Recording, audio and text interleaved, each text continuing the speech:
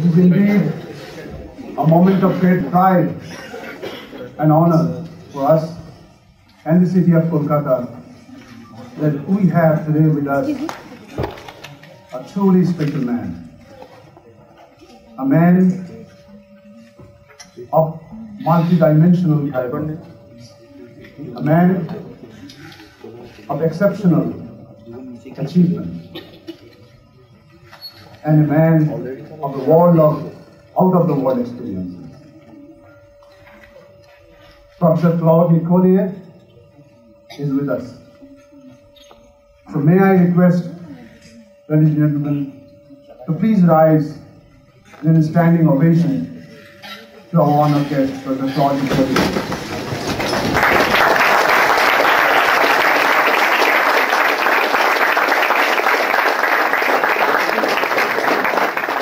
Claude Nicollier has been for nearly 30 years a European Space Agency astronaut of Swiss nationality.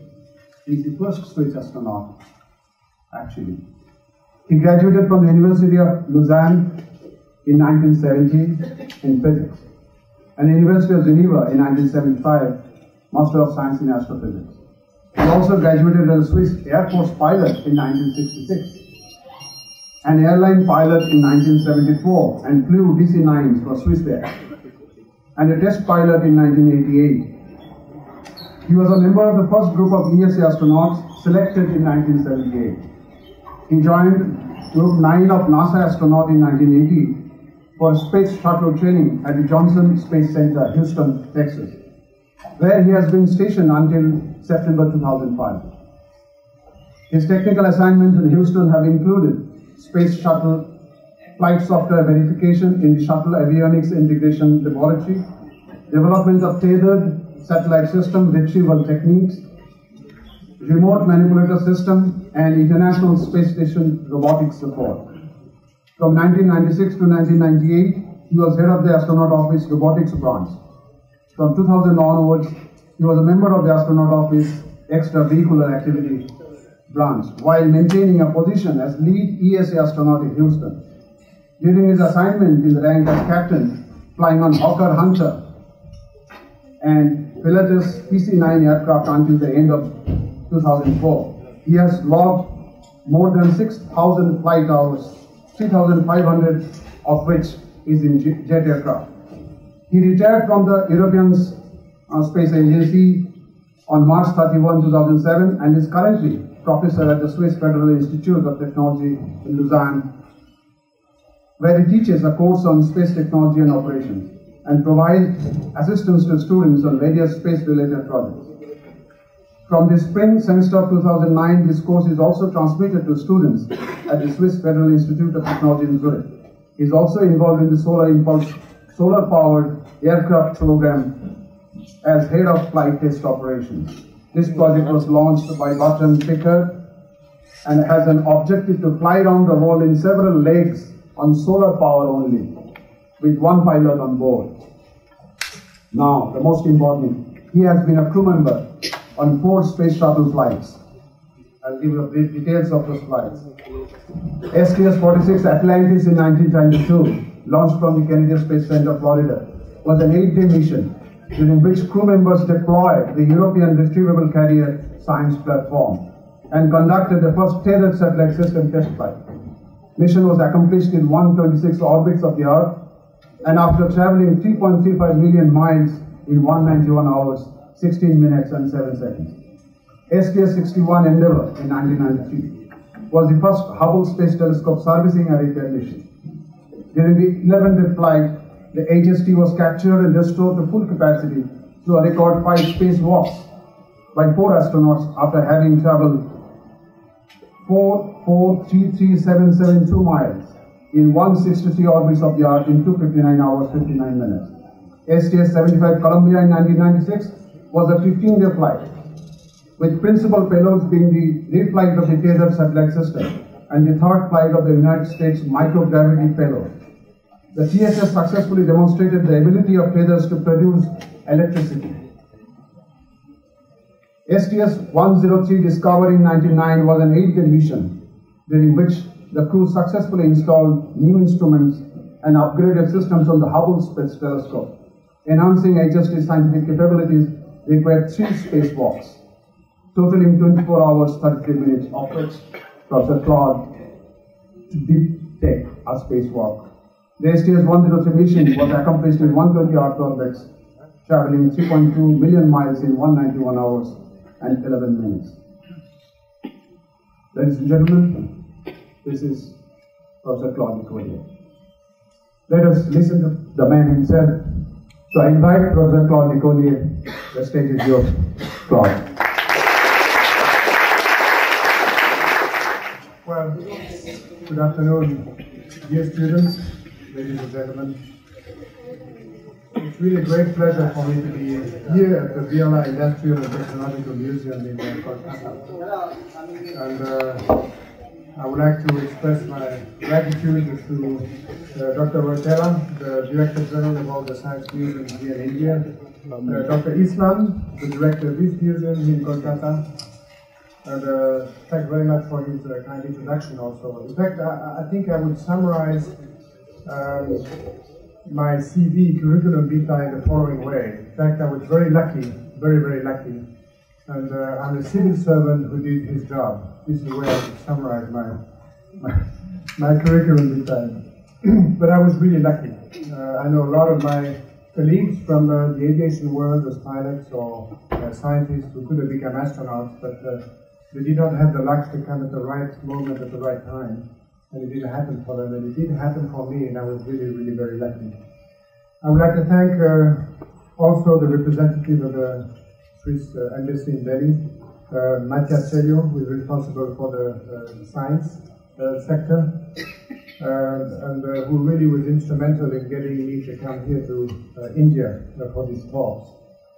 And I would like to thank finally all of you students and teachers also in this in the schools in the Kolkata and surroundings for coming here and demonstrating your interest for uh, space science technology. I come here really as an astronaut, true, but I come also as a friend. I should consider myself as a friend who wants to communicate with you and hopefully will be able to establish cooperation between Switzerland and India in the future uh, in the field of uh, uh space activities. As you know, there was a, this treaty of friendship between uh, India and Switzerland, which was uh, signed in 1948, and we had a 60-year celebration last year. And this year is the year of science and education in India-Switzerland. Um, and uh, there has been already, this was mentioned before, cooperation between India and Switzerland, typically in the launch of that uh, Swiss Cube satellite, a small student satellite, just about as big as my hand here on my, on my left hand, uh, one liter volume and uh, less than one kilogram weight that will be launched on the Indian launch in two weeks from now. This is a form of collaboration. And I think this is only the start of a collaboration between India and Switzerland uh, for space activities, whether it's at the professional level for big satellites or big spaceships or exploration of uh, other worlds of the solar system, or the development and build-up of a small satellite by students, which has uh, incredible educational value.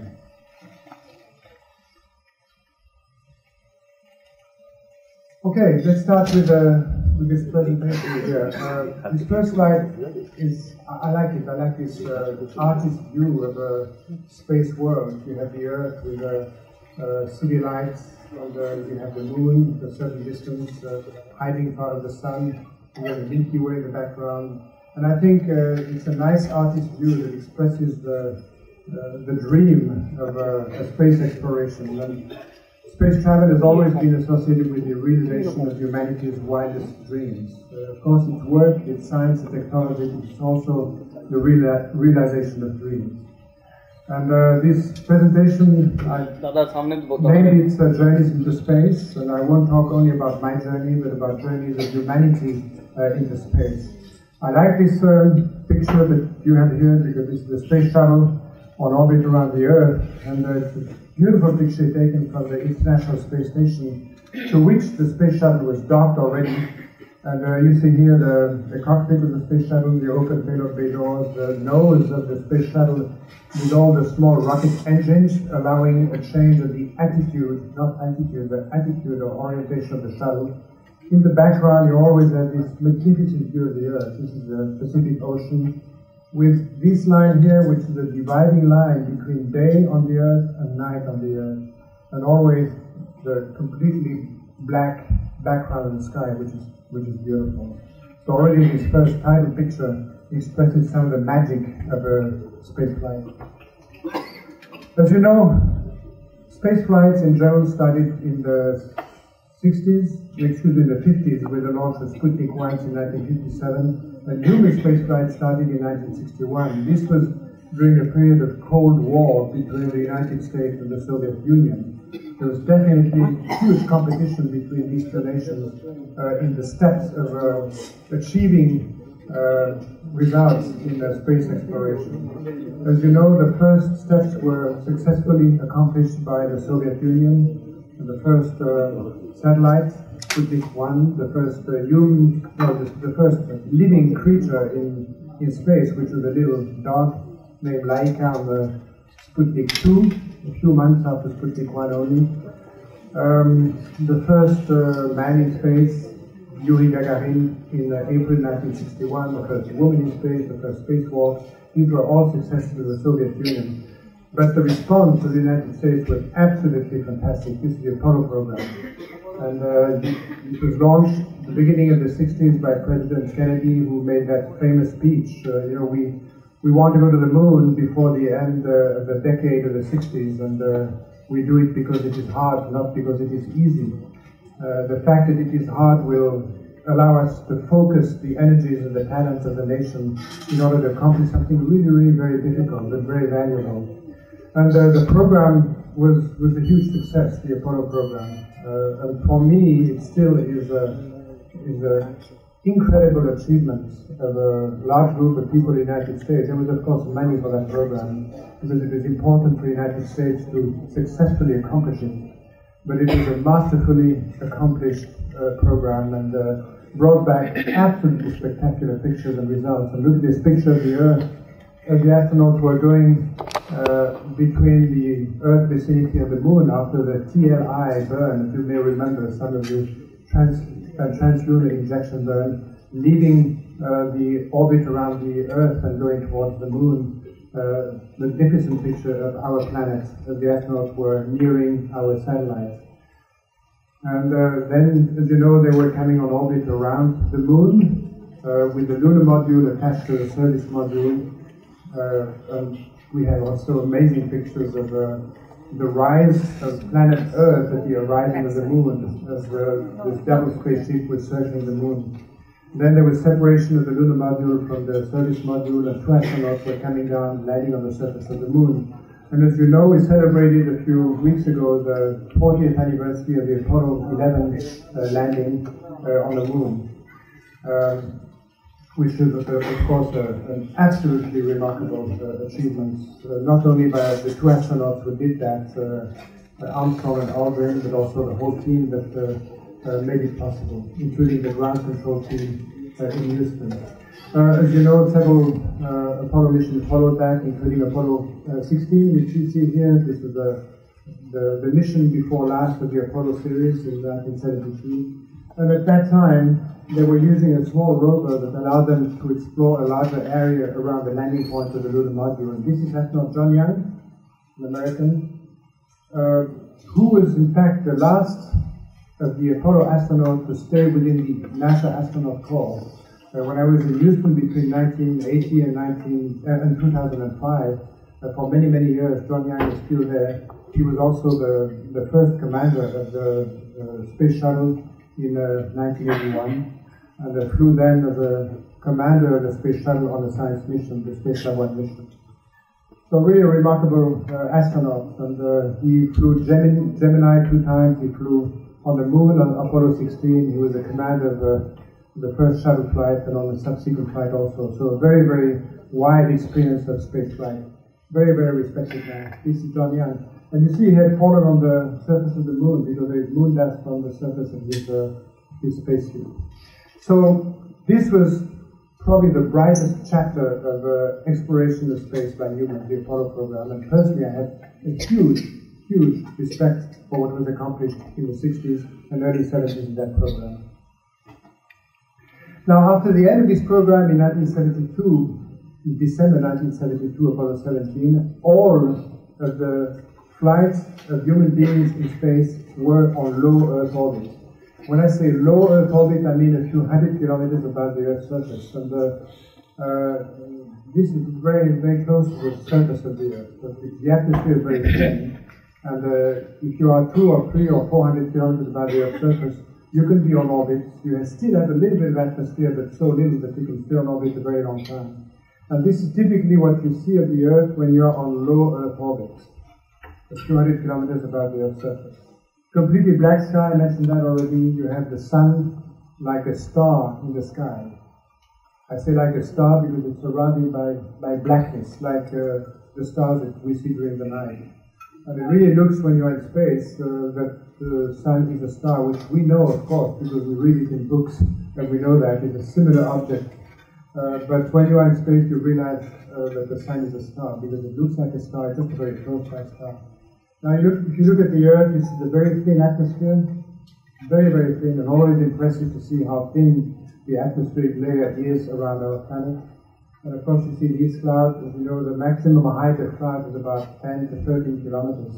And at 300 or 400 kilometers, we are, of course, much higher than that. But it's beautiful view. I was never, never tired of looking at the Earth uh, from low Earth orbit. Now, this is an interesting view of the Earth because it's centered on uh, a very important country, which is India.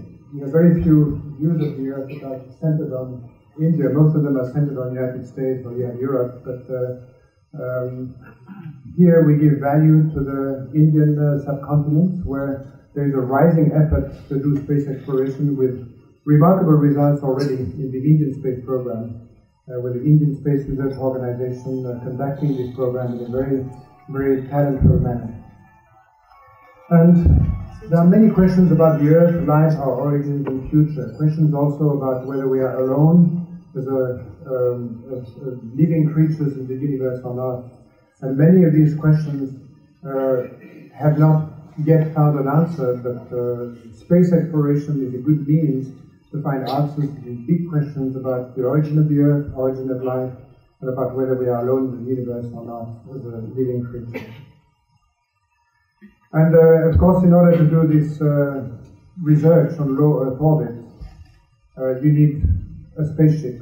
And uh, in the United States, the space shuttle was developed in the 70s and operated from the 19, from the early 1980s on. The first flight was on the 12th of April 1981, which was exactly 20 years after the flight of Gagarin, by the way. This picture of the space shuttle on the uh, on its way to the launch pad, which you see here, was taken recently. It's a very, very interesting picture because there was obviously a thunderstorm in the vicinity. And it was published on the website of NASA uh, just a couple of weeks ago, and I think it's a very, very nice picture of the space shuttle. So in the US, after the end of the Apollo program and the, the Skylab program that followed a few years later, uh, there was a development of a reusable spaceship to reach low Earth orbit. I say reusable because this space shuttle is reusable, it's used over and over again, as opposed to rockets used in the past, which were lost at every launch. Is the launch of the space shuttle. You have um, two solid rocket motors that provide the largest fraction of the thrust for the vertical launch, about 1,000 tons of thrust for each of the solid rocket boosters. And in addition, you have three hydrogen engines, which are using the content of this big external tank, which contains initially 700 tons of liquid oxygen and liquid hydrogen uh, to reach space in only about eight and a half minutes. It's really interesting to see that space is very near you reach space in only eight and a half minutes. After two minutes, the two boosters are separated uh, from the tank, and then uh, only the orbiter containing the payload and the crew, seven people in the front cabin here, and the big tank continue the travel to uh, the so-called main engine cutoff point, uh, eight and a half minutes after liftoff, where you are already on orbit. So it's a very, very, very short trip to orbit. Very dynamic, but very short in time. Okay, I have a short video clip here. We don't have the sound here installed, but I'm going to show you a short video clip of uh, the first two minutes of the ascent. Uh, no, we don't have it here. So, Hold on a second.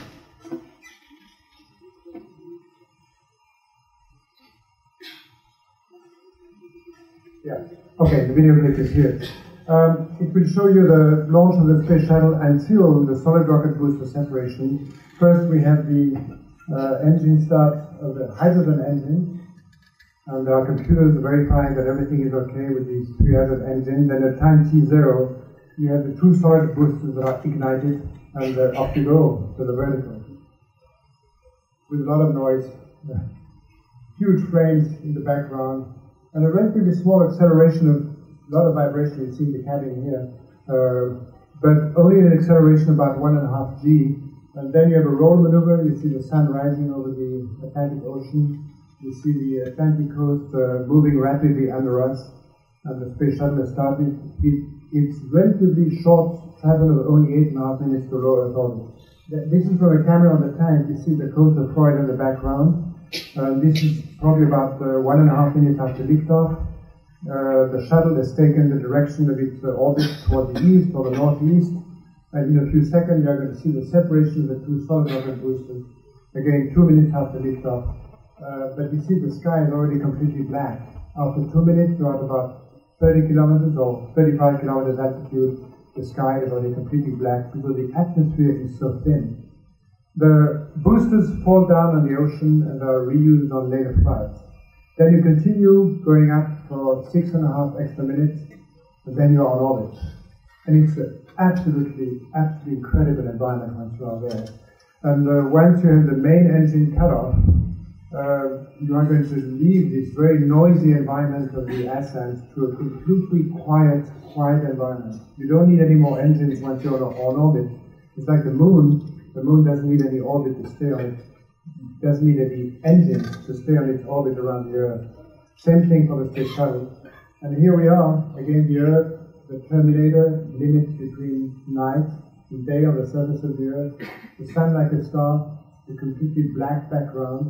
And this is the payload bay of the shuttle. We have opened the payload bay doors of the shuttle. We have the robotic arm that has been partly deployed, ready to capture uh, the Hubble Space Telescope. This is taken on the Hubble Space Telescope servicing mission.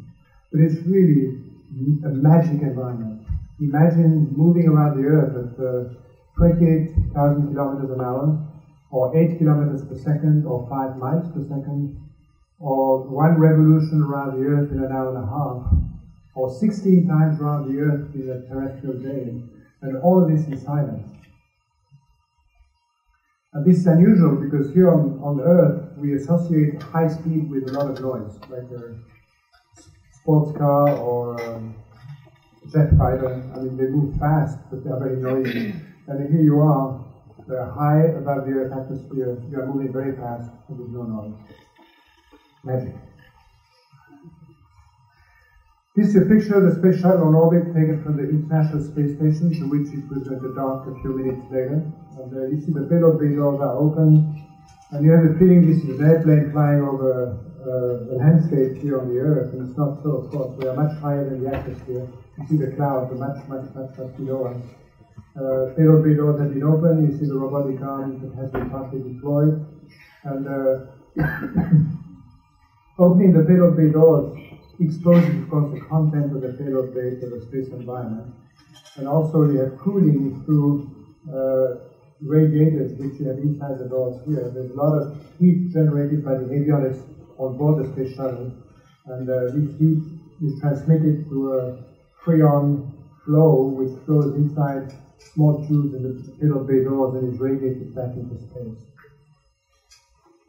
Now, obviously, when you're on orbit around uh, the Earth in the, in the space shuttle, you are in weightlessness. There's no more gravity. And the reason is not, like some people believe, because we are far away from the Earth. The reason is because we are in free fall. Uh, and I would like you to try to understand that. You have zero gravity or weightlessness when you're in free fall.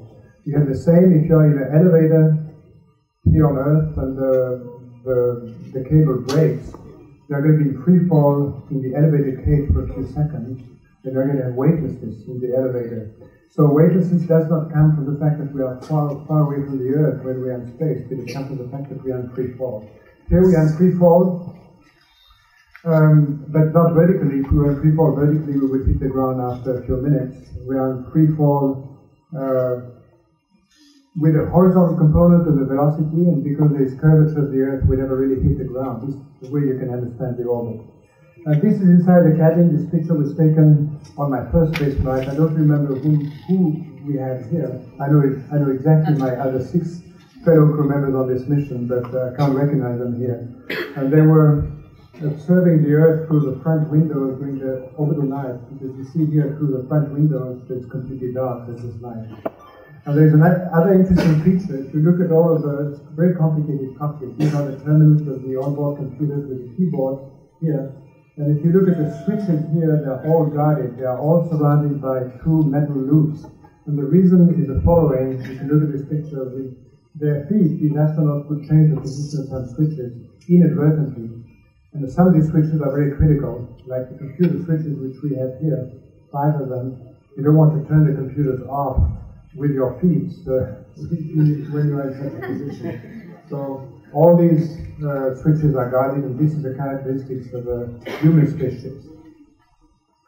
Food, uh, we eat relatively normal food, but we carry in dehydrated form, uh, which means we have removed the water out of the food, uh, which allowed us to store it for several days or several weeks, even without refrigeration. We don't have the refrigerator on board. So the, the food conserves itself quite well, being uh, dehydrated or with the water removed. And of course, we have to add water before we consume it. And here we have three containers of uh, scrambled eggs, which before rehydration uh, was like yellow powder in plastic uh, bags. But after rehydration, it, it's really like scrambled eggs, and it tastes like scrambled eggs, and uh, it has a consistency scrambled eggs. It's quite good.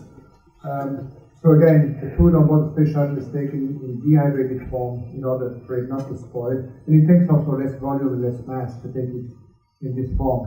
Um, the electrical power on, the, on board the space shuttle is not generated by solar rays or solar sails, but by fuel cells that combine oxygen, hydrogen with a catalyzer and produce electrical power. We have three such cells, each delivering about 7 kilowatts of, electrical uh, power so the grand total of 20 kilowatts, uh, and producing about 100 liters of um, water per day as a byproduct. And some of this water we can use to rehydrate the food.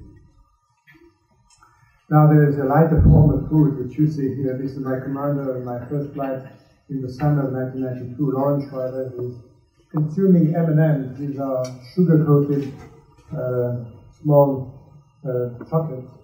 And they are slowly moving uh, from his open hand to his mouth. It's a nice photo. You can see the background is characteristics of space which I mentioned already before, the black sky and uh, the ocean with the blue and white colors. Now, when we have a little bit of free time on board the shuttle, of course, every mission has a certain objective. We try to accomplish certain goals, uh, technical and scientific goals, obviously. Uh, but we have sometimes uh, an hour or two of free time, not very often, but sometimes we do. And of course, most of the free time is spent looking out the window because it's such a spectacular view, but also sometimes we play with fluids. And you see here, uh, big ball of uh, water, not the bubble, but it's a ball of water uh, that is just floating free. And uh, as you know, the fluids in the of gravity take the spherical uh, shape. The, the sphere is the uh, shape that gives you the smallest possible surface for a given volume. And as you have surface tension on the surface of a, uh, any free liquid, uh, you have kind of a skin around that uh, volume of liquid that uh, has tension, and it tries to minimize the surface for a given volume that gives you a sphere.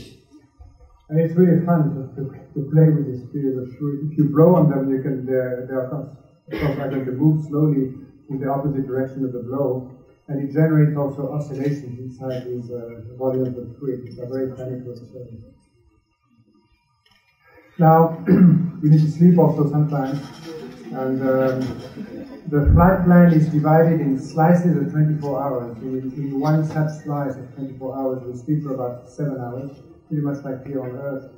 And uh, when it's time to go and uh, sleep, we take our sleeping bags and install it either on the floor but it's a little bit too conventional.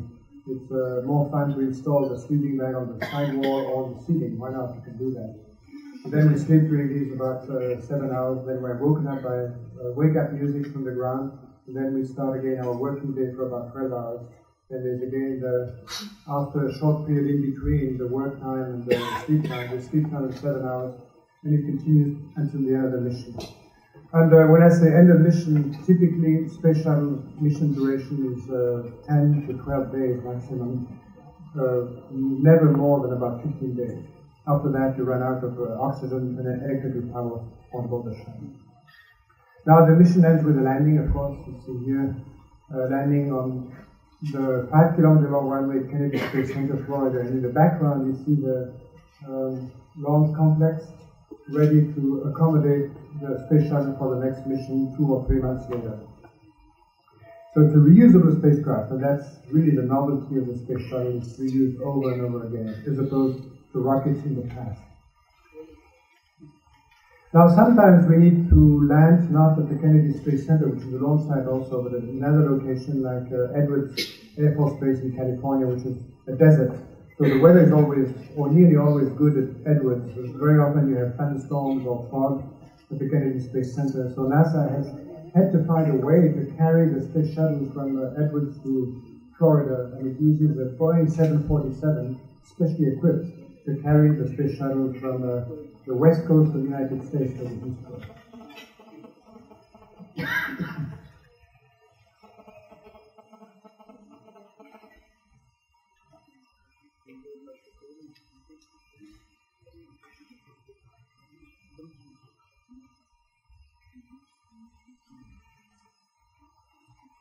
Now, the main destination of the space shuttle since seven years, and uh, it will continue being so for about a year and a half or so, is the International Space Station. When you see ISS, for International Space Station. This is a very large complex of laboratories which uh, is uh, managed and uh, built and operated by 16 nations the United States, Russia, Canada, and Japan, and 12 member states of the European Space Agency, including Switzerland.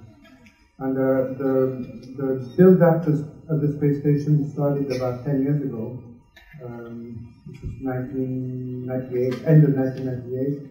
And this is the current status of the, this huge laboratory uh, with uh, American components here, there are Russian modules, uh, European lab here, a Japanese lab, and this large sidebar was was procured by uh, the U.S. partner uh, together with a huge solar array at the end of this sidebar.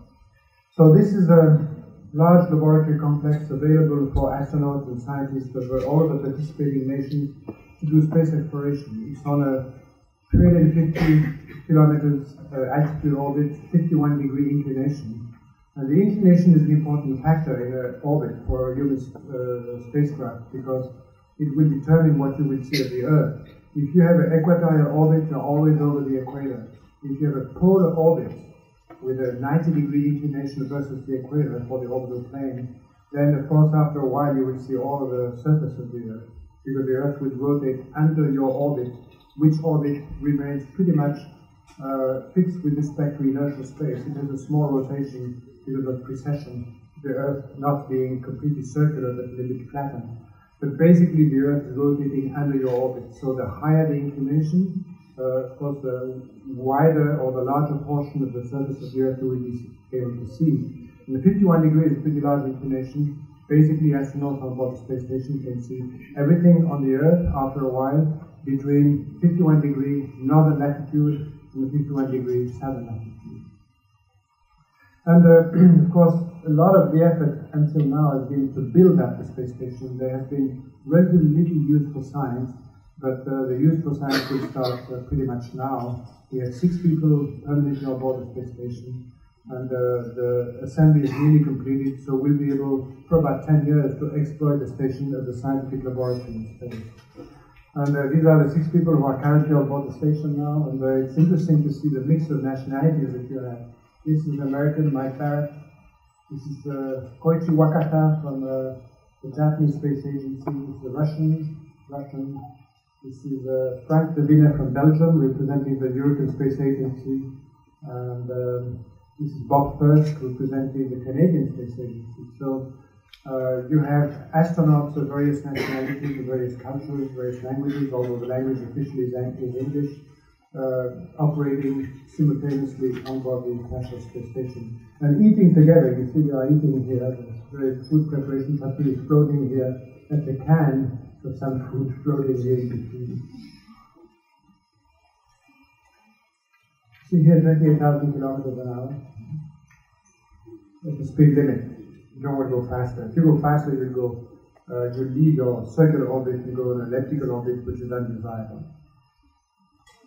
Okay, this was um, basically space travel, human space travel in general. I'll say a few words about my own experience. Uh, I was involved specifically in uh, the Hubble Space Telescope uh, project, and I'll say a few words about that, especially as uh, I know in this museum there's quite a lot of emphasis on astronomy because this is a year of astronomy. Um, and I had the privilege out of my four space flights to twice go to the Hubble Space Telescope to do repair work and uh, maintenance work and improvements uh, of the capability of the, of the telescope. Basically, the project is the following. You have a telescope with a 2.4 meter diameter primary mirror, so it's a reflecting telescope, on low Earth orbits, basically at 600 kilometers altitude.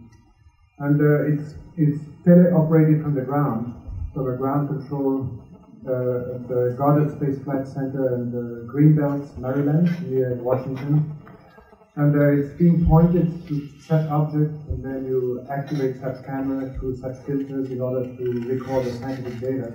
And then the scientific results are beamed down to the ground via a relay satellite on geosynchronous orbit. Uh, so it's quite a complex operation. Uh, first of all, you needed to install the telescope on orbit and operate it, but then in order to use it scientifically, it's quite a complex operation, which is the responsibility of the US partner. It's a joint program of uh, NASA and the European Space Agency.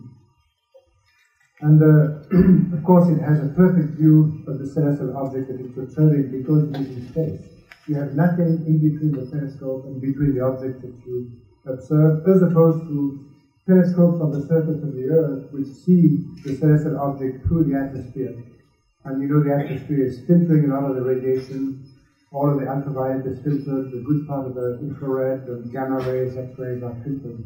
So you have a perfect view of the universe, and also in the visible part of the spectrum, the pictures are much better because you don't have the atmospheric turbulence, which is limiting the resolution of a ground-based telescope. But of course, it's a complex instrument. It did cost quite a lot, about two billion dollars. Expensive telescope. Um, this is the instrument parts in the back of the primary mirror, where you have several cameras and uh, spectrometers and uh, photometers analyzing the picture formed in the back of the primary mirror. As you know, when you have a reflecting telescope, you have a primary mirror uh, transforming the parallel beam coming from the celestial object to a converging beam for the, for the secondary mirror. Then you have another converging beam that which forms the focus in the back of the primary mirror. That's where the picture is formed, analyzed by these various instruments. Now, the telescope was launched in 1990 uh, with the space shuttle, and unfortunately it was suffering from uh, one flaw, which was an optical flaw. Uh, it didn't have really a good vision because of a slightly uh, wrong shape of the primary mirror.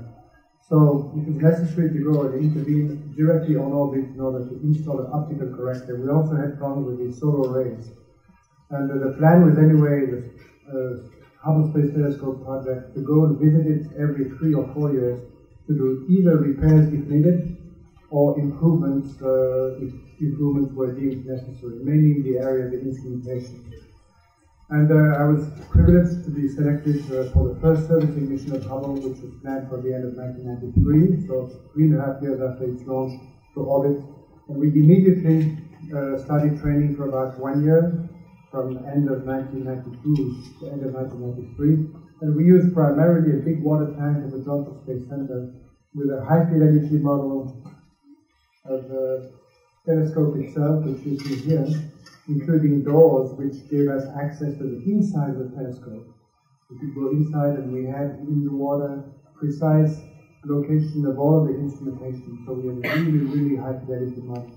And there was a high fidelity model of the payload bay of the shuttle, of the robot arm which we, which we were going to use, and also the airlock was very uh, high fidelity uh, represented uh, in the water. So we trained there for about one year. Of course, we had a lot of training outside of the water also, but the water training was very important because it could uh, expose us to the challenge of doing the repair work in the absence of gravity, which is simulated by the water environment. You know, we put uh, enough uh, weight and uh, adjust the buoyancy of each astronaut, we have two of them here, uh, so that they are completely neutrally buoyant inside the water. And not only globally neutrally buoyant, but each of the limbs is neutrally buoyant. You don't have one leg that tends to go up and one arm that tends to go down. Uh, everything is neutrally buoyant. You are really in weightlessness. Uh, one difference is, of course, you can swim in the water, you can't swim in space.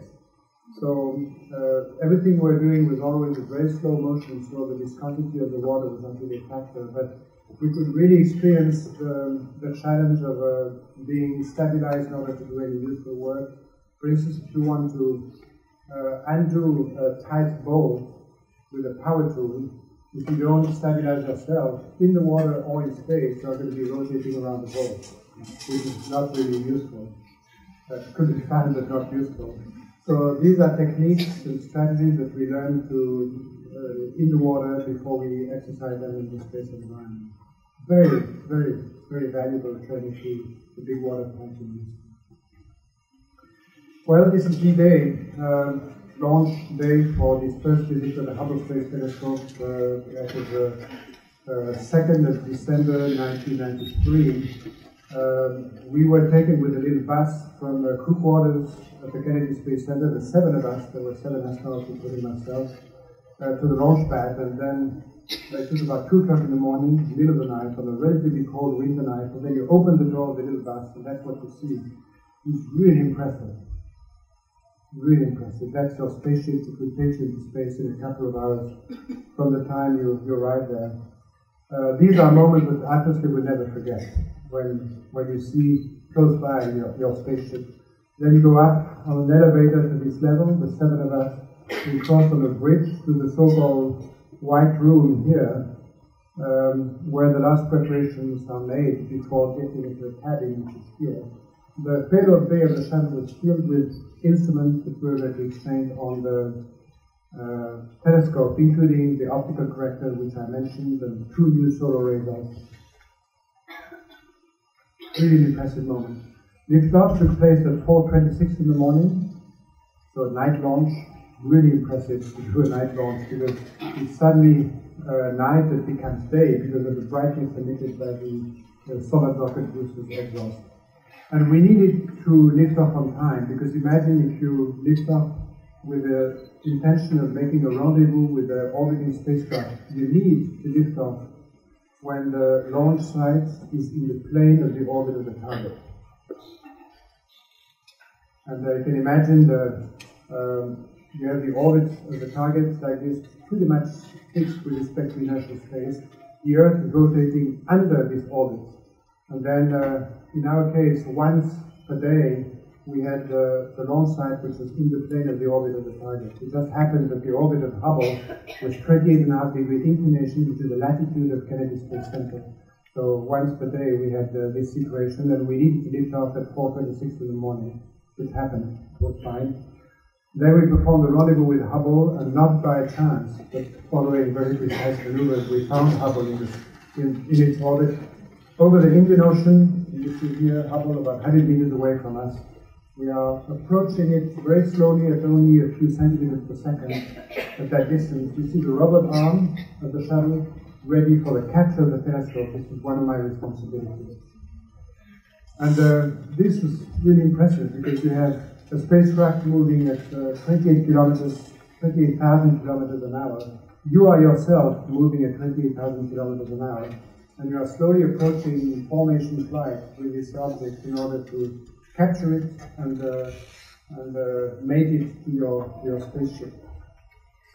Uh, we had practiced that in the simulator a lot, so I was confident we could do it. So the commander flew manually the space shuttle in close vicinity to the telescope with a proper relative orientation, then it was for relatively easy with the robot arm to capture the telescope and install it in payload bay, which I had done here, uh, on a small platform in the back of the payload bay. It was a rotating platform which could allow us to orient toward the front of the payload bay, the area of the telescope we had to do an intervention in the following day. You see the solar arrays, which were not in very good shape. In fact, they were uh, slightly damaged by the space environment and had to be exchanged. That's the end of the robot arm, which had been used to capture the telescope install it. And this was a big instrument, about 15 meters height, 4.5 meter diameter in, in, in, the bottom. And in the background, you have the island of uh, Madagascar, the Indian Ocean on the left hand side. Now, the plan was for us to capture the telescope on one day, two days after liftoff, and then uh, in the following five days perform five spacewalks according to a very precise program which we had practiced in the water in order to do this repair work on Hubble, in particular the optical correction and the exchange of solar arrays. And we always had the following scenario. We had one of our spacewalking astronauts on a platform at the end of the robot arm, which I was normally operating, and uh, with an open air uh, toolbox. Yeah, all the tools were there. Each of the tools was attached with a small safety tether, so you don't lose the tools. The astronaut is also attached uh, at this point here with a safety tether in case he or she gets loose from the platform. At least we won't lose it completely, or him or her, because of the safety tether. He or she can get back to the robot arm. And that was the scenario. Five spacewalks, each time having one astronaut on the platform at the end of the the other one being a free floater responsible for his uh, motions on the payload bay or on the telescope. 600 kilometers altitude, that was quite high. You see the curvature of the Earth is pronounced. It's somewhat exaggerated with a fisheye lens, but still we're pretty high. That's a couple of pictures taken on the fifth spacewalk out of five spacewalks. We had to take the two astronauts together to the top of the telescope to do some uh, uh, repair work on magnetometers on top of the telescope. And uh, the picture was taken from up there of our spaceship. You see the, the robot arm here, this is the elbow of the robot arm, this is the elbow taken from up there. And this is the, the payload bay of the shuttle, this is the cabin. The commander was on this side, I was on that side, operating the robot arm. And I mentioned the sun as a star in the sky, and you can see very well in this picture what I mean. It's really like a star. That's a nice, nice set of pictures. This is again over the Indian Ocean at Shark's Bay on the west coast of Australia.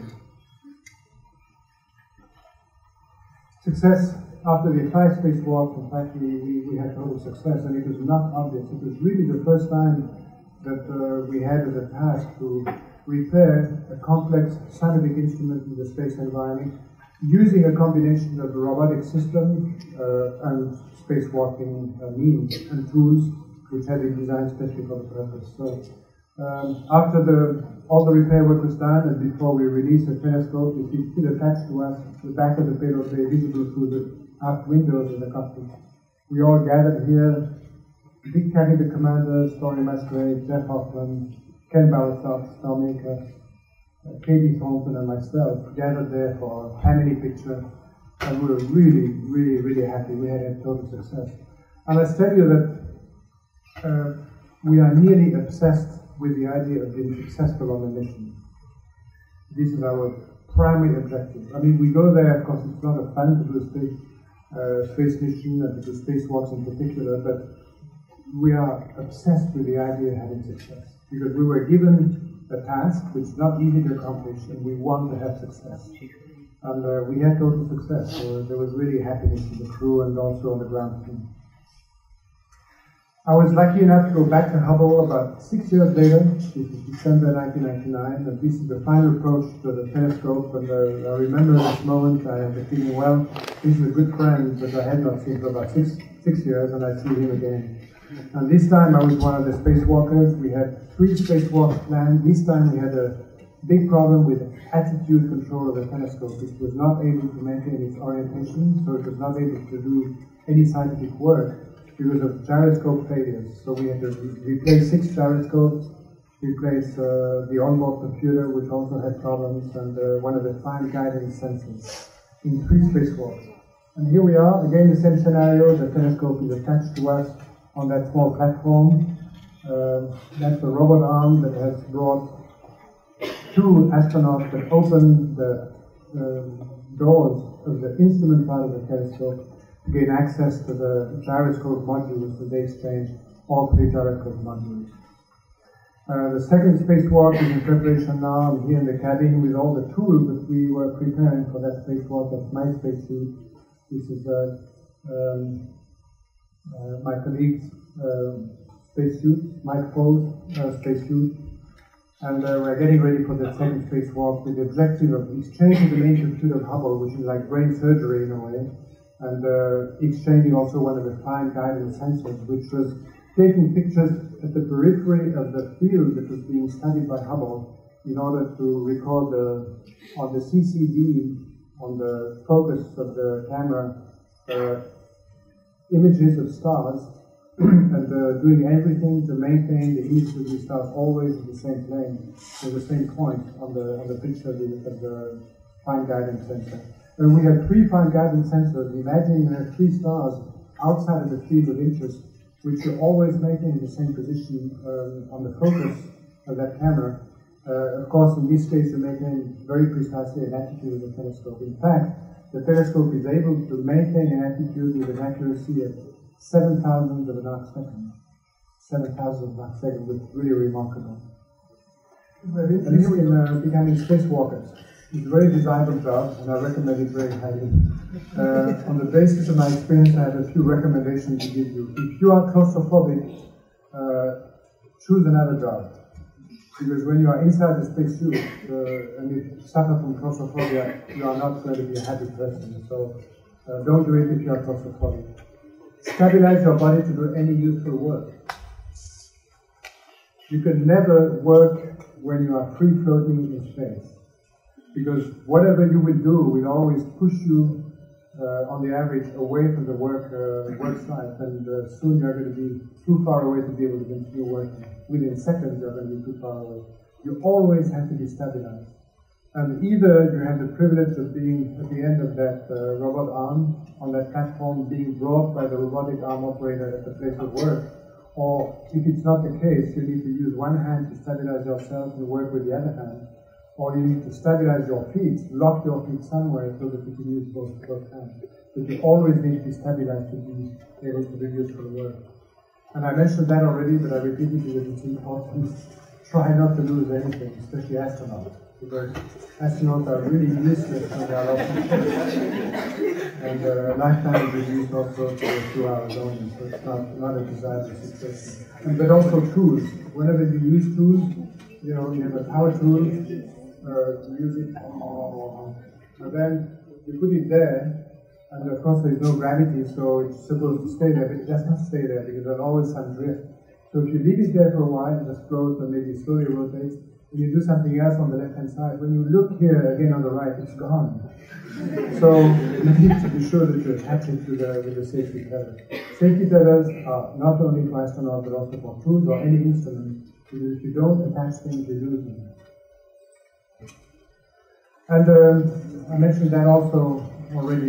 You, you, need to work slowly. In you work slowly in the water, and you don't have really the effect of the viscosity of the water. So that's why it's such a good training uh, medium. Uh, but we, we work slowly not only for that reason. We work slowly because if you work too fast, you are going to lose control of your body.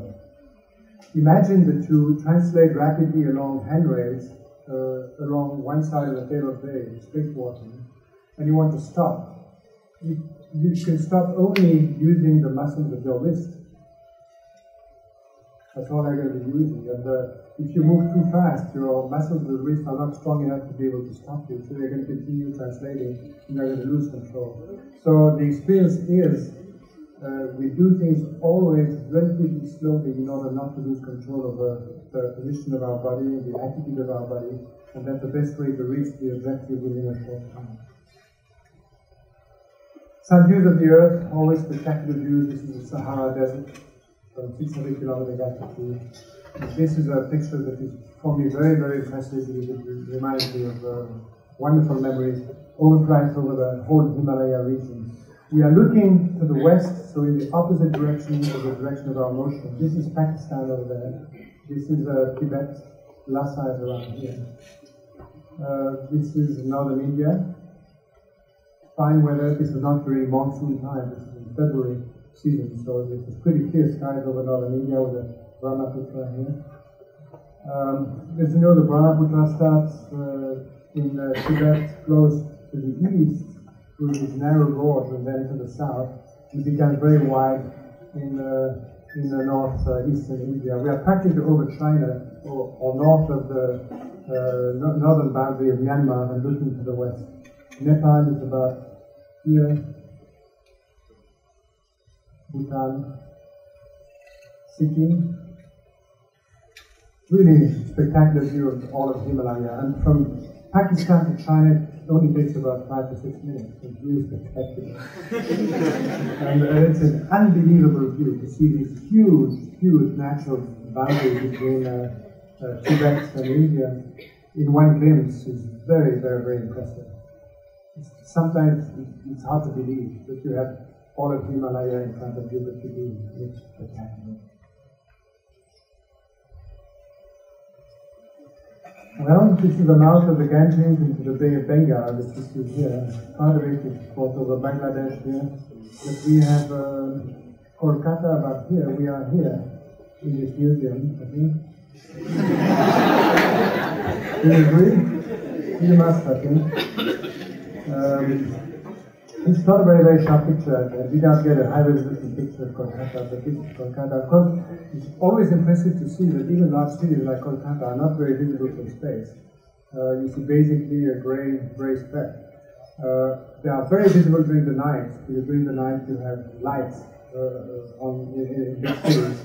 And uh, you realize that if you were an extraterrestrial, you would uh, find out that there is life on the surface of the Earth from low Earth orbit at night, yes, but not during the day. Even big cities are not very spectacular from low Earth orbit during the day, but they are during the night.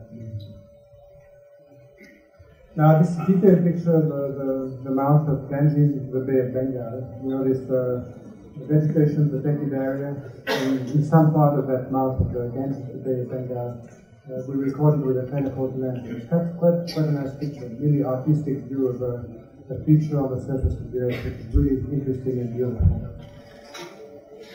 A very close picture.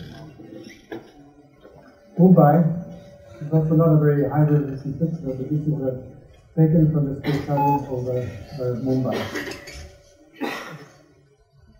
Now, uh, we also take pictures of uh, uh, unusual events like a volcano, volcano eruption. This one was taken relatively recently from the International Space Station.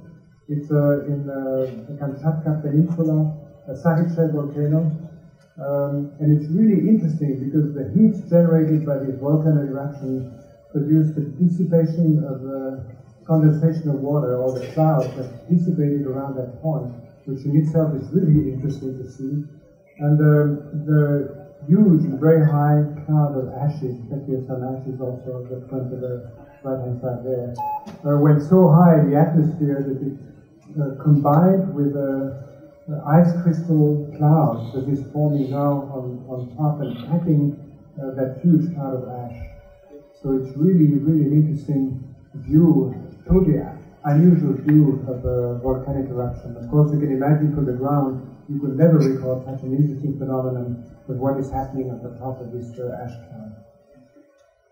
So these pictures of the Earth are not only sometimes beautiful or interesting, but they bring us a lot of information about unusual phenomena like uh, uh, production of very high altitude ashes following a volcanic eruption. Sunrise and sunset, if you like those, this is the job to select because uh, we have 16 sunrises and 16 sunsets per terrestrial day. So if you're an aficionado of sunrise and sunsets, you need to become an astronaut. Um, aurora, always beautiful to see from space. Uh, the average altitude of such, or upper boundary of such formation is about uh, 200 kilometers or so. That's about 100 kilometers. This is the air glow that will be measured by SwissCube. I'll mention that in a few from now. Uh, so if you're at 600 kilometers altitude or even 300, you fly over the aurora, so that below you, is really, really spectacular.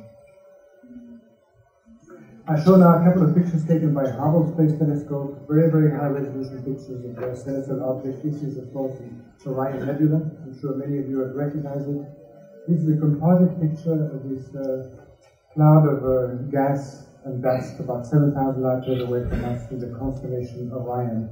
And uh, Hubble looked in detail at the central part of the Orion Nebula and detected a number of, this is four out of many more, uh, protostars or stars in the making. They are infant stars in a way, and uh, there are condensation of interstellar matter, mainly gas and some dust, uh, at the center of which you have an elevated temperature. That's why you have uh, these uh, red cores in these uh, globules of interstellar matter. And of course, further condensation will transform these objects into real stars in a few million or ten million years from now. And they are not only protostars, but they're also protoplanetary disks because they are surrounded by dark matter, which probably will transform into planetary systems around these uh, stars in the making. Really, really interesting result. And it was only possible due to the very high resolution, spatial resolution of the Hubble Space Telescope. Uh, fascinating picture made by Hubble. Of course, you don't see as many objects as uh, on the original, but this is a so-called Hubble Deep Field. A picture taken by Hubble with a 10-day exposure of an object uh, close to the celestial North Pole, it is always visible from the orbit of Hubble. Unlike objects close to the celestial equator, which are regularly occulted by the Earth itself. And uh, Hubble patiently accumulated photons coming from this small window in the, in the sky for 10 days and recorded thousands of galaxies which is really an interesting result because it shows the richness in galaxies of the universe and also it's a, it's a glimpse in the past of the universe because the faintest galaxies here are about 10 billion light years away, so you see these objects as they were 10 billion years in the past. So this is not only a, a, view of the depth of the universe, but also uh, in the depth of the past of the universe. This is a time picture extending over billions of years in the, in the history of the universe. Really fascinating picture. I think this only picture makes it worth for Hubble to have been developed and launched and operated. It's really wonderful result. And a lot of publications were made on the basis of the Hubble Deep Field, which was taken in 95, and the Deep Field taken about uh, 10 years later. A few words about the future of human space exploration. Back to the moon in uh, uh, the next decade, probably before 2020, that's the objective of NASA. Initially, with the spacecraft relatively close to what we had on the Apollo program, because it worked fine on Apollo uh, 40 years ago, so uh, NASA wants to be on the safe side and use a similar architecture for the program as they use in the Apollo program. Of course, it's going to be spaceship uh, of the 21st century, much more technologically advanced than the equipment used on Apollo, but the scenario of the mission will be similar. There's a lot of studies of Mars. Uh, we have two rovers on the surface of Mars, Spirit and Opportunity, uh, launched by NASA and operated since nearly three years now on the surface of Mars. And you have one uh, spaceship or probe on orbit around the red planet, Mars Express, uh, the European Space Agency is delivering us very accurate and precise pictures of the surface of Mars like this one. You see two craters here.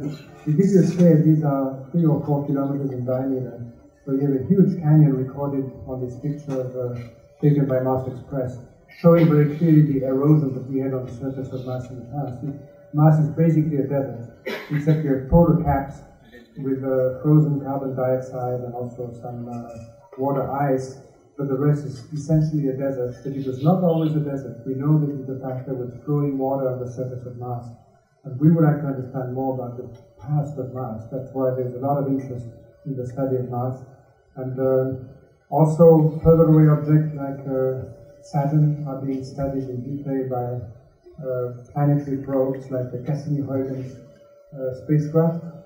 Cassini landed already on, excuse me, Huygens landed on the surface of a uh, Titan, one of 63 satellites of uh, Saturn, but Cassini is still on orbit around the ringed planet and is recording a lot of interesting data about the planet itself. Here you see the shadow of the rings on the surface of Saturn and uh, about its rings and about its satellites.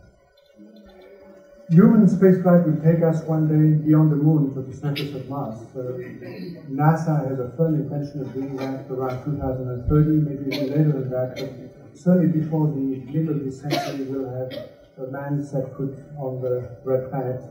Uh, probably an international crew, possibly involving Indians. I know that by that time, India will have developed its own autonomous means of sending people into space, and there's no reason to believe that they will not cooperate in future bold space adventures like this one.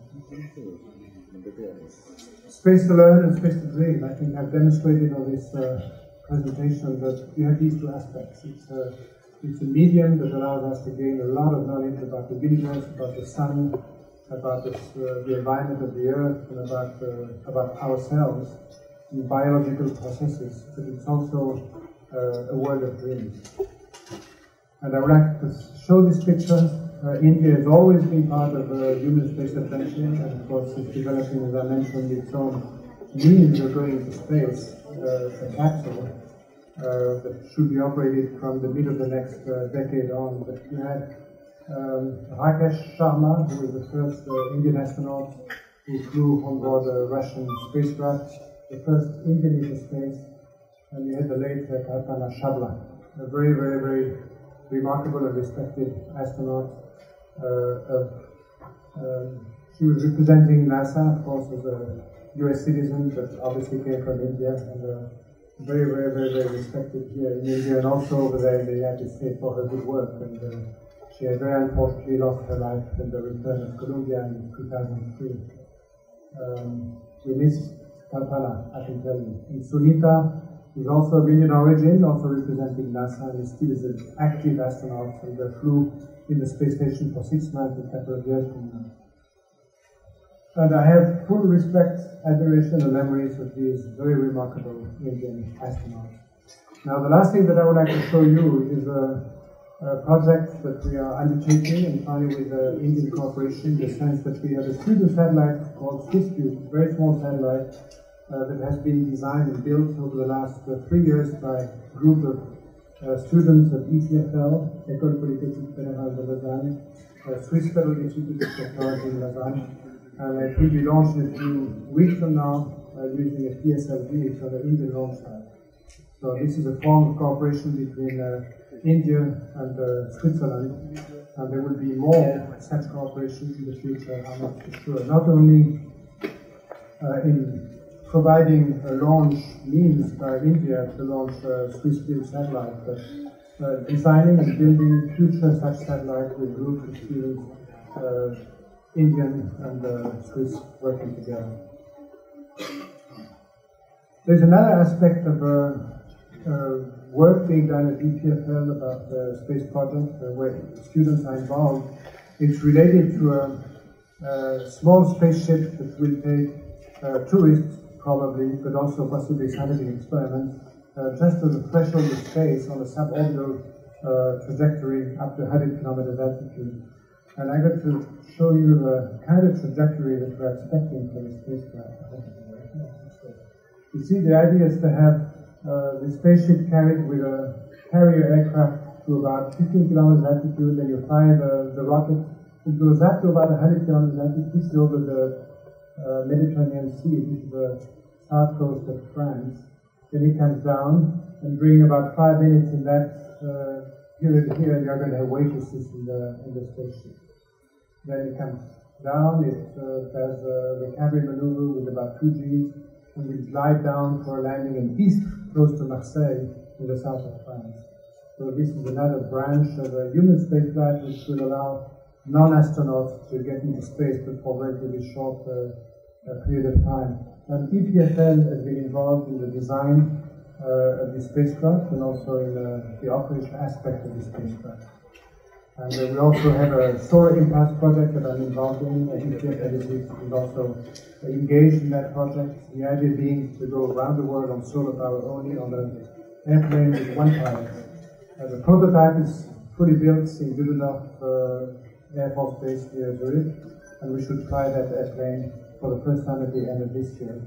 And uh, all of these relatively advanced technological projects, whether it's uh, CubeSat or whether it's uh, uh, spaceship taking uh, passengers uh, to the threshold of the space, or trying to go around the world on solar power only, uh, are projects where a lot of students are involved, and there is no reason to believe that in the future we do not have Swiss and Indian students working on such projects together. Thank you very much.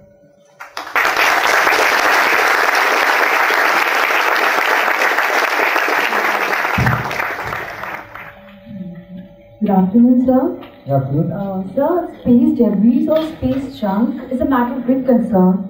Can you please explain briefly about uh, Kessler syndrome?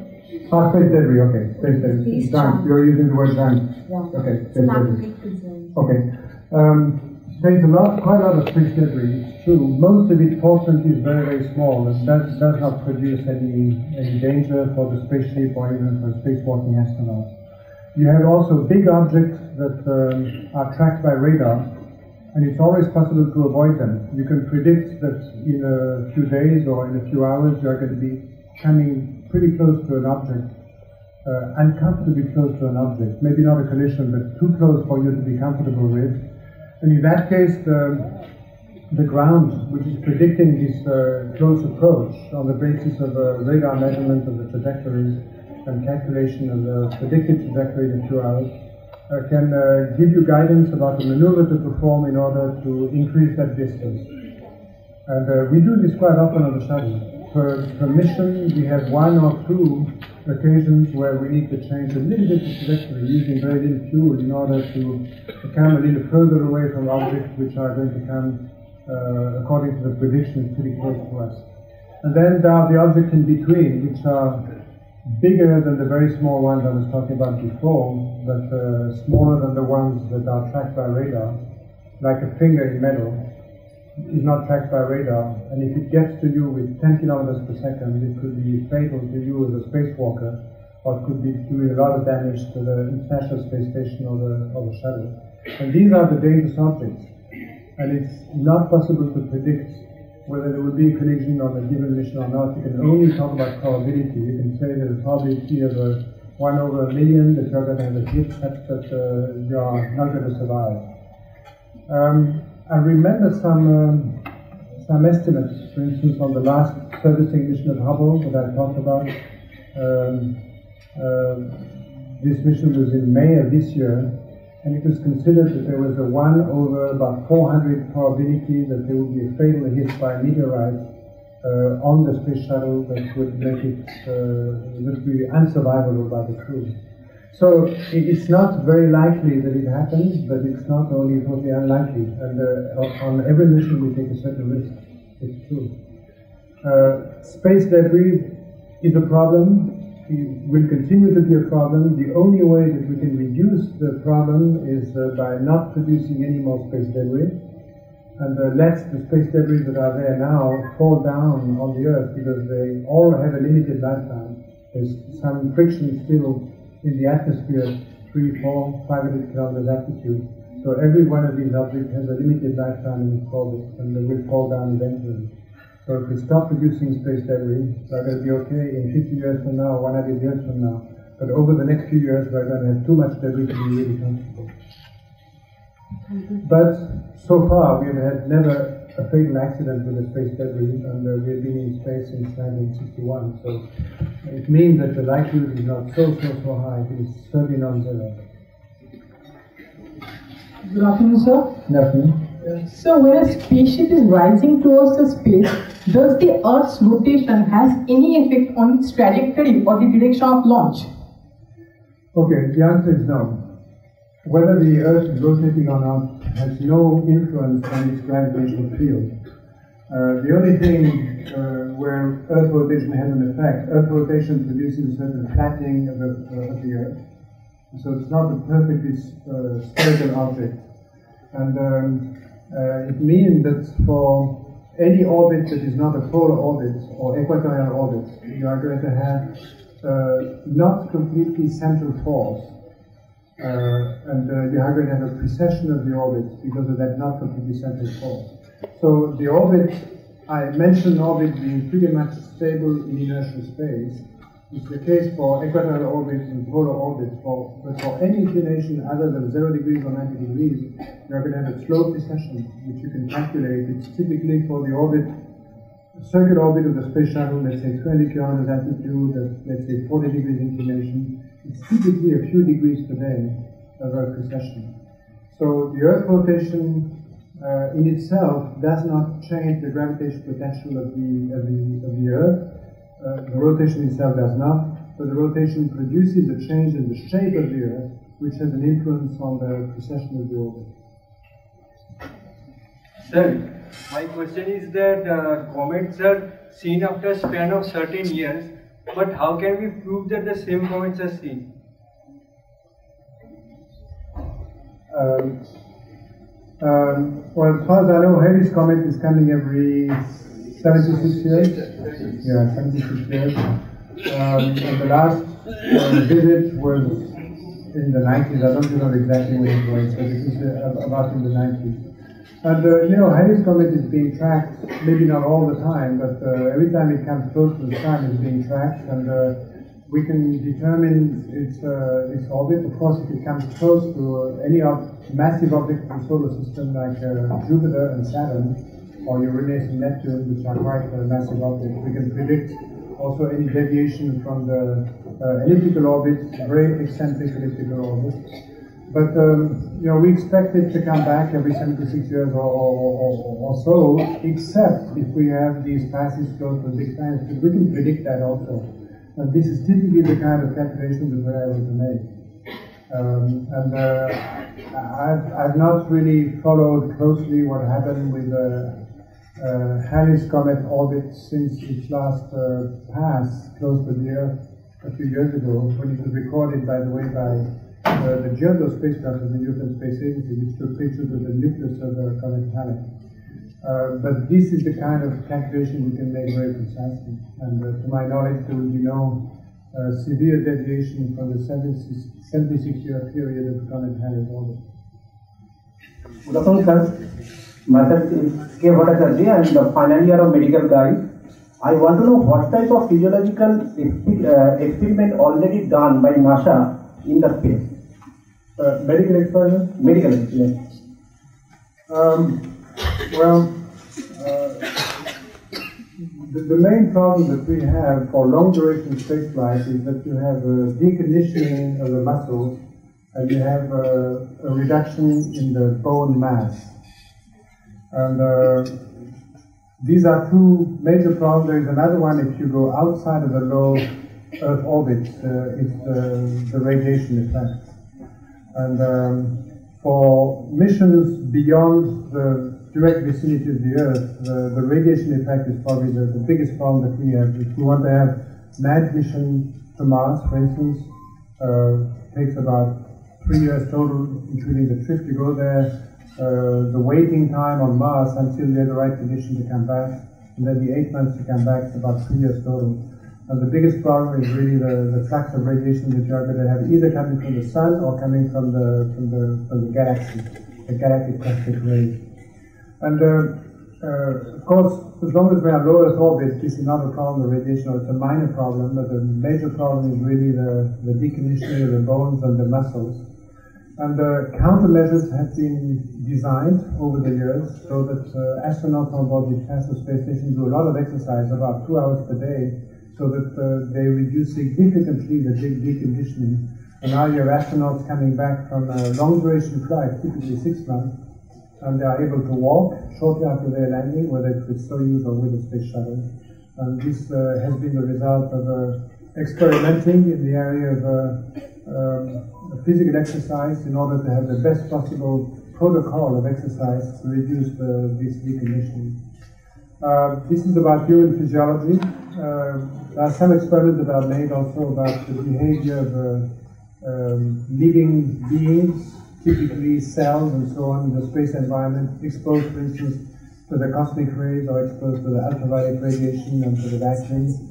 Uh, so this is more in the area of biology to see how uh, life can sustain the space environment, which again is uh, characterized by the absence of gravity, uh, and at least in the vicinity of the sun by radiation in the ultraviolet part of the spectrum, uh, and also the, the cosmic ray particles coming from the sun and the, and the rest of the universe.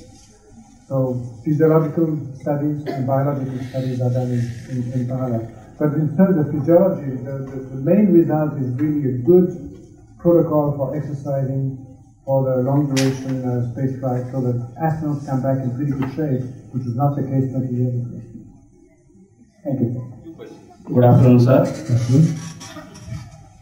You were not only an astronaut, but you were a person of physics. Uh, as far as I know, many of the astronauts are not the people from the field of physics. So, do you have any knowledge about this? That any experiment was performed in all these flights which, which tested the theory of physics? For example, now we have this unified field theory. So, is there any experiment which was performed in the past, or is there any experiment in the pipeline which will prove this, uh, which will test the unified field theory? Um, well, not use the telescope like the Hubble Space Telescope. Uh, you, you are gathering data that are very pertinent to astrophysics in particular. Uh, but this particular field that we are talking about, uh, I'm not aware that there is any uh, space experiment that is going to analyze it. Um, there will be um, an experiment that will be launched um, end of next year, alpha magnetic spectrometer, that will be taken on, I think, the very shuttle flights, STS-137 or so. And um, this is going to be uh, looking into interaction of uh, neutrino particles and uh, other particles, uh, which is going to be uh, itself an experiment in physics that I don't know the details of, but that's certainly one area of physics that will be analyzed by, by this experiment, alpha magnetic spectrometer. Sir, Hubble telescope, as far as I know, is an optical telescope. Yes, Is there any other radio telescope being uh, launched into No, space? there's no plan to launch a radio telescope. In fact, the idea about radio astronomy is to go once on the other side of the moon in order to shield it against all of the radio noise that you have uh, on the Earth itself or on the moon, on the visible portion of the moon. Uh, that's probably the best possible utilization of uh, the moon as a scientific station in the future is to install radio telescope on the far side of the moon, which will be totally shielded from uh, the, the radio noise you have on the Earth or on any part of the vicinity of the Earth exposed directly to the uh, to the Earth itself. And the far side of the moon is by definition not exposed to the Earth and its radiation noise. Thank so uh, studies going back to the moon would have two purposes. On one hand, understand the moon better from a scientific point of view, and use also the moon as a natural space station with certain properties, typically the shielding of the moon itself. Uh, if you go on the other side, you have shielding of all the, the noise of the radiation coming from the Earth, so which would give you a very, very quiet environment on the other side. So that would be using the moon uh, as a way to do science from the moon. So there's always the science about the moon, the science from the moon. Radio telescope on the far side is definitely good science from the moon. Thank you, sir. Uh, sir, I would like to know what black holes are. What black holes are, okay. well, black holes are uh, very, very, very dense concentration of matter uh, that are so massive and so dense that uh, nothing can escape from them, mm, uh, including light cannot escape from them. As we know, with general theory of relativity, the light rays are bent by large masses. And you can imagine a threshold of mass beyond which light cannot even escape from these objects because the light can be bent back into the, the, the black hole itself. And there's a whole theory of black holes that I'm not really a, an expert on, but uh, uh, black holes seem to have been observed uh, with a very high level of probability in the center of a number of galaxies, including our own galaxy. Uh, obviously, the center of each galaxy is a, singularity, and this singularity is uh, characterized by very high mass. And uh, in many galaxies, this high mass is uh, in the range of black holes.